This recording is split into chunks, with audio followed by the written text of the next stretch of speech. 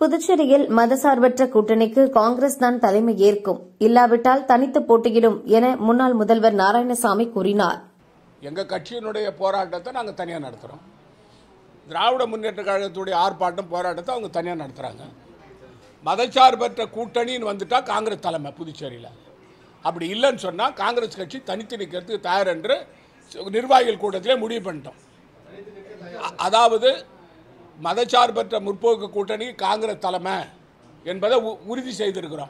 கட்சி தொண்டனுடைய உணர்வை நம்ம சொல்கிறோம் கட்சி தலைமையை கேட்டு தான் செய்வோம். எதாக இருந்தாலும். நாங்கள் எப்படி முடிவு பண்ண முடியும் தனிப்பட்ட முறையில்?